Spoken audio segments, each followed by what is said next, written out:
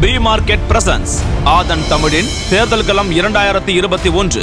Powered by big minds associate sponsor Jeevan care centre and Jensen and Nicholson paint இடைத்தரகர்கள் இல்லாம விவசாயிகளிடமிருந்து நேரடியாக கொள்முதல் செய்யப்பட்ட சுத்தமான தேங்காயிலிருந்து பாரம்பரிய முறைப்படி தயாரிக்கப்பட்ட தேங்காய் தான் பி மார்க்கெட்ல கிடைக்குது. B market be the change big genius அகாடமியின் plus two மாணவர்களுக்கான பிக் மைண்ட்ஸ் டியூஷன் பேச்சஸ் அனுபவம் வாய்ந்த ஆசிரியர்களை கொண்டு சிறந்த முறையில் பயிற்றுவிக்கப்படுகிறது. பாடப்பிரிவுகள் மேத்ஸ் பிசிக்ஸ் கெமிஸ்ட்ரி பயாலஜி மேலும் விவரங்களுக்கு ஒன்பது கீழ் இருபத்தி இரண்டு ஜம்புகேஸ்வரர் நகர் திருச்சி ஐந்து. தொடர்புக்கு eight zero nine eight zero two eight zero five six. குடி மற்றும் போதை பழக்கத்திற்கு அடிமையாகி இருண்ட உலகில் மாட்டிக்கொண்டீர்களா உங்கள் வாழ்வின் வெளிச்சத்திற்கு ஒளியேற்றுகிறது ஜீவன் கேர் சென்டர். நம்பிக்கையோடு நீங்கள் எடுத்து வைக்கும் முதலடி நாளை உங்களை புன்னகை தேசத்தில் குடும்பத்துடன் சேர்த்து வைக்கும் ஜீவன் கேர் சென்டர்.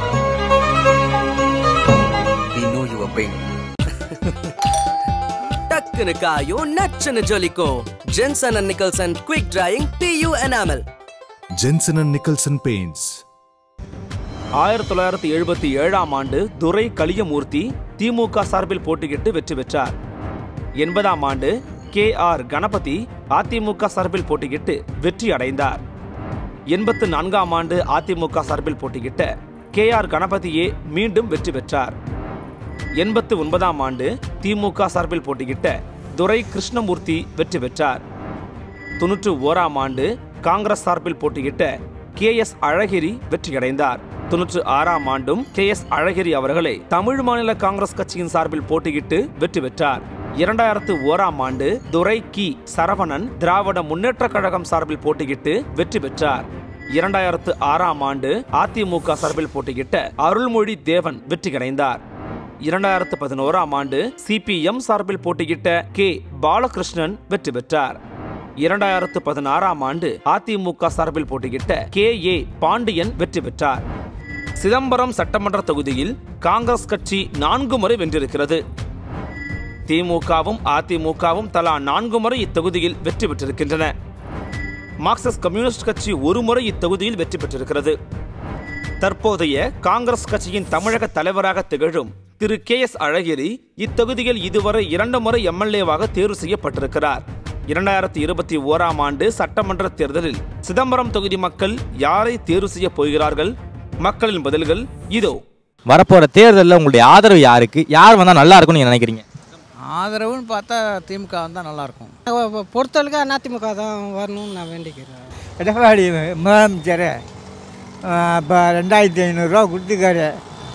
இந்த பொங்கல் சீசனுக்கு ரொம்ப அழகாக கொடுத்துருக்காரு. எங்களுக்கு பெருமையாக இருக்குது அவரை பற்றி பேசணுன்னா இதுமாரி தமிழகத்தில் நடந்ததே இல்லை.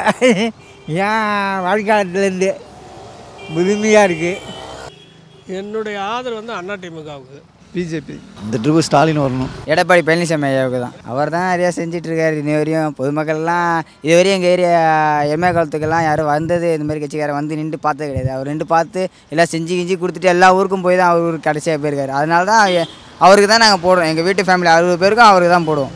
ஜெயலலிதா அவங்க மக்களுக்கு எல்லாம் செய்கிறாங்கப்பா நல்லது செய்கிறாங்க அதனால் அவங்களுக்கு செய்ய வேண்டியது தான் மக்களுடைய உணர்வுகளை புரிஞ்சு செய்கிறாங்க ஏடிஎம்கே தான் ஓட்டு போட போகிறேன் அதான் இப்போ அவங்க சொன்ன மாதிரி சொல்ல வேண்டாம் அண்ணா திமுக அதிகமாக ஊழலாக இருக்குது அடுத்து திமுக ஆட்சி வந்தால் தேவலாம். என்னோட ஆதரவு வந்து இப்போ இருக்கிற எடப்பாடி அவர் ஆதரவு தான். நல்லா முழு வீச்சில் செய்கிறாங்க அவங்க அரசு. ஏடிஎம்கே. இப்போ இருக்கிறது நல்லா இருக்க மாதிரி தான் இருக்குது என்னுடைய ஆதரவு வந்து திருமாவளவனுடைய விடுதலை சிறுத்தைகளுடைய கூட்டணி திமு திமுகங்கிறதால திமுகவுக்கு என்னுடைய ஆதரவு. நான் திமுகவில் தான் இருக்கிறேன். என்னோட ஆதரவு வந்து எங்கள் தலைவர் தளபதி ஸ்டாலின் அவர்கள் வந்தால் நல்லா இருக்கும்னு என்னோட ஆதரவு. என்கிட்ட திருப்பி எடப்பாடி வந்தாலே நல்லா இருக்கும்னு நினைக்கிறோம். எடப்பாடி பழனிசாமி அவர் வந்தாலே நல்லாயிருக்கும். திருமாவளவன். எலெக்ஷனில் எனக்கு நோட்டா தான் தலை. திமுகவுக்கு தான். நம்ம முதலமைச்சர் எடப்பாடி பழனிசாமி அவங்க வந்து நல்லா ஓரளவுக்கு பண்ணிட்டு இருக்காங்க தேர்தலில் ஆதரவு அப்படின்னா இந்த பத்து வருஷமாக இந்த கவர்மெண்ட்டில் சில முக்கியமான விஷயங்களில் இது இல்லை. முக்கியமான விஷயமா பார்க்க போகிறது வேலைவாய்ப்பு. வெளி மாநிலத்திலேருந்து இருக்கிறவங்க இபிலெலாம் வேலை பார்க்குறது வந்து மிக கொடுமையான விஷயமா தேவைது ஏன்னா தமிழ்நாட்டில் ஐநூற்றி முப்பத்தி நாலு பொறியியல் கல்லூரி இருக்குது தனியார் பொருள் அது இல்லாமல் டீம்டு யூனிவர்சிட்டி பல யூனிவர்சிட்டிகள் இருக்குது இங்கே தான் இன்ஜினியரிங் ப்ரொடக்ஷனே அதிகமான இன்ஜினியர்ஸ் உருவாகிற மாநிலம் வந்து எதுனா தமிழ்நாடு தான். ஆந்திராவை தமிழ்நாடு தான்.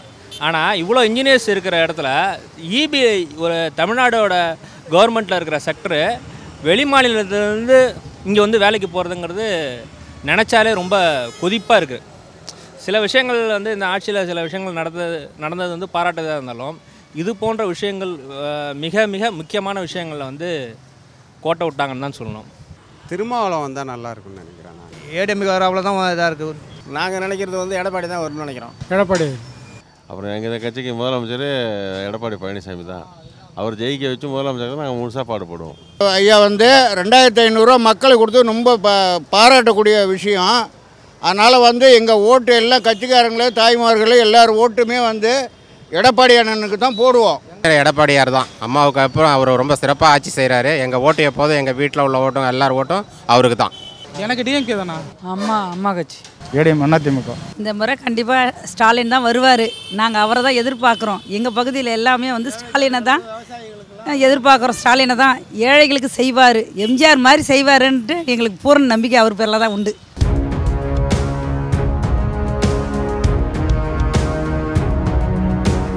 ஆதன் தமிழின் தேர்தல் களம் சிறப்பு வாகனம் தமிழ்நாடு முழுக்க பயணித்து மக்களுடைய மனநிலையை அறிந்து கொண்டு வருகிறது. அந்த வகையில் இன்றைக்கி நாம கடலூர் மாவட்டம் சிதம்பரம் சட்டமன்ற தொகுதிக்கு வந்திருக்கோம். இந்த கடலூர் மாவட்டம் எப்பொழுதுமே இயற்கை பேரிடர்களால் அடிக்கடி பாதிக்கக்கூடிய மாவட்டங்களில் அதுவும் ஒன்று அதே மாதிரி தான் சிதம்பரமும். இந்த வருஷம் வந்த நிவார் புயலில் அதிகம் பாதிக்கப்பட்ட பகுதியில் சிதம்பரம் பகுதியும் ஒன்று. சிதம்பரத்தில் வரலாறு காணாத அளவுக்கு பெருவெள்ளம் சிதம்பரம் நடராஜர் கோவிலுக்குள்ளே வந்துச்சு. எந்த முறையும் கோவிலுக்குள்ளே வெள்ளம் வந்ததே கிடையாது. ஆனால் இந்த முறை கோவிலுக்குள்ளே வெள்ளம் வந்திருக்கு. அந்த அளவுக்கு சிதம்பரம் நகரத்தோட பாதாள சாக்கடை கட்டமைப்பு அவ்வளவு மோசமாக இருக்கிறது அப்படிங்கிற கருத்தை நம்ம கிட்ட முன் வச்சிருந்தாங்க. அது மட்டும் இல்லாமல் சிதம்பரம் நகரில் மையப்பகுதியில் இருக்கிற அண்ணாமலை பல்கலைக்கழகத்தில் இருக்கிற ஊழியர்களை அடிக்கடி இடமாறுதல் பண்ணிக்கிட்டு இருக்காங்க. அதை அதை இந்த அரசு வந்து முடிவுக்கு கொண்டு வரணுங்கிற கருத்தை முன் வச்சிருந்தாங்க. இந்த சிதம்பரம் தொகுதியை பொறுத்த வரைக்கும் அதிமுகவுக்கு தான் அதிகப்படியான வெற்றி வாய்ப்புகள் நிறையவே இருக்கு. இரண்டாயிரத்தி இருபத்தி ஓராம் ஆண்டு ஆதன் தமிழினுடைய தேர்தல் களத்தின் சார்பாக களத்திற்கே சென்று திரு தாமரச்சலன் அவர்கள் கடலூர் மாவட்டத்தில் இருக்கக்கூடிய சிதம்பரம் தொகுதிக்கு சென்றிருக்கிறார். அந்த இடத்துல வந்து அவர் மேற்கொண்ட அந்த கள ஆய்வின் அடிப்படையில் அதிமுகவிற்கான வெற்றி வாய்ப்புகள் கூடுதலாக இருக்கிறதா அவருடைய கருத்துக்களை வந்து பகிர்ந்திருக்கிறாரு.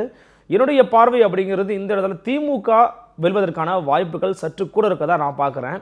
என்ன காரணம்னு கேட்டிங்கன்னா இரண்டாயிரத்தி பதினாறாம் ஆண்டு நடைபெற்ற தேர்தலின் அடிப்படையில் திமுக இரண்டாம் இடம் பிடிச்சிருந்தாங்க. ஆனால் அதிமுகவிற்கும் திமுகவிற்கும் நான் வெற்றி வாய்ப்பு பார்த்தீங்கன்னா வெற்றி வித்தியாசம் பார்த்தீங்கன்னா கிட்டத்தட்ட இரண்டாயிரம் வாக்குகள் மட்டும்தான். ஆயிரத்தி ஐநூறுலேருந்து இரண்டாயிரத்துக்குள்ளே இருக்கக்கூடிய வாக்குகள் வித்தியாசம் தான். வெற்றி பெற்றிருந்தாங்க அதிமுக.